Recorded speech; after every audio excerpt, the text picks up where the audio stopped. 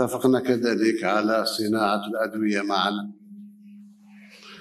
اتفقنا على إنشاء عدد لازم بالنسبة للشركات المختلطة كوبية نمشي معا في كذلك صناعة تلقيح بالنسبة للأمراض الإفريقية وغير الإفريقية. تبادل الشباب تبادل التعليم العالي.